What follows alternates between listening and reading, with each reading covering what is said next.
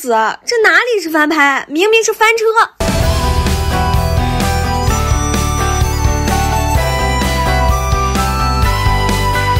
五毛钱的特效，九块九包邮的妆造，没颜值、没演技的主演们在那里上蹿下跳。不是我说，这十几年过去了，为啥经典翻拍却总是越拍越烂？我们观众到底做错了什么，要被反复折磨啊？今天咱就一起来看看，近几年都有多少经典 IP 倒了这个大霉。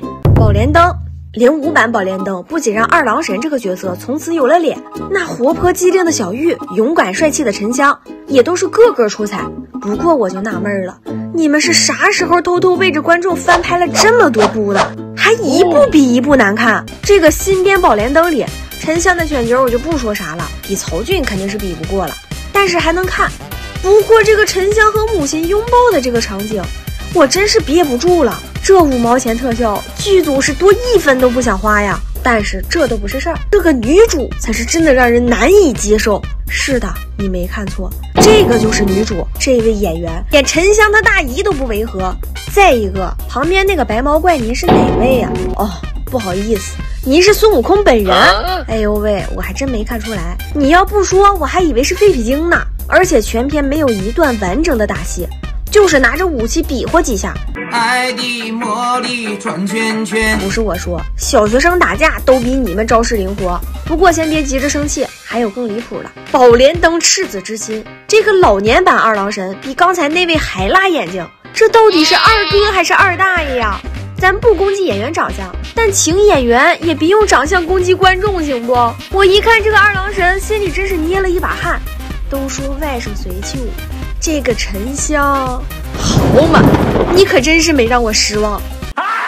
现在知道我为啥说刚才那个沉香还能看了吧？这不全靠同行衬托的吗？台词打戏也都是大量借鉴零五版的。不过人家有自己的创意，比如老版的二郎神用的是三尖两刃刀，新版道具呢就升级了。你瞅瞅，好几个尖儿，这打起架来不比你焦恩俊猛多了？这部大电影它的下部叫《宝莲灯浮沉幻灭》，就这个烂片分级播放的套路，让我又想起了今年年初被《倚天屠龙记》大电影支配的愤怒啊！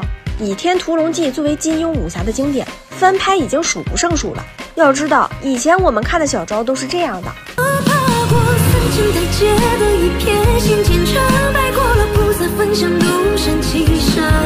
结果到了二零二二年，好家伙，这是那个捧红过邱淑贞的王晶拍出来的小昭吗？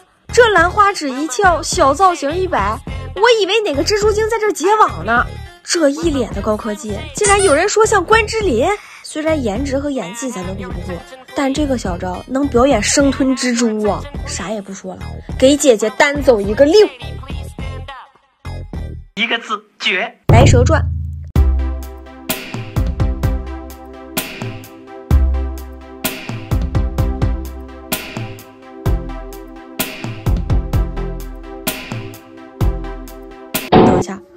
什么奇怪的东西？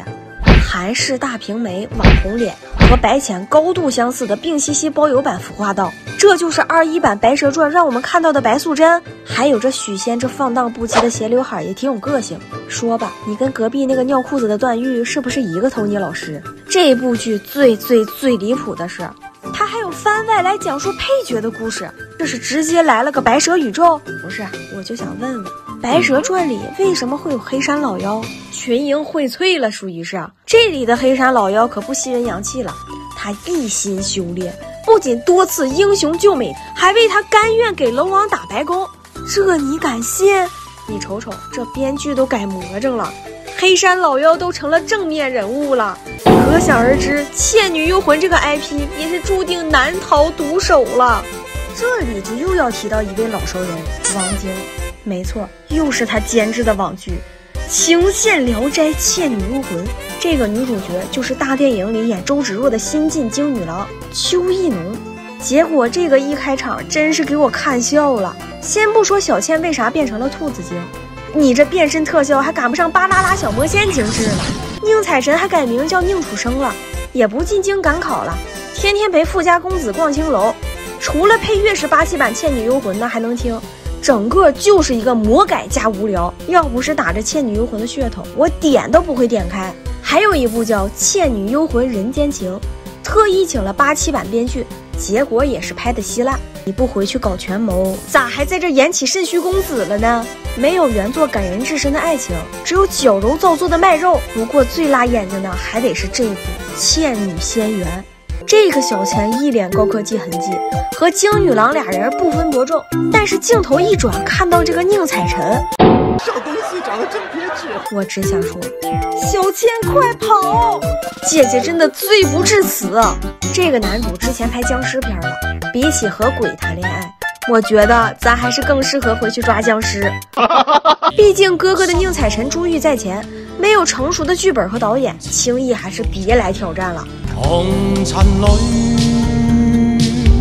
美梦有几多方向？嗨，愿内娱少一点翻拍吧。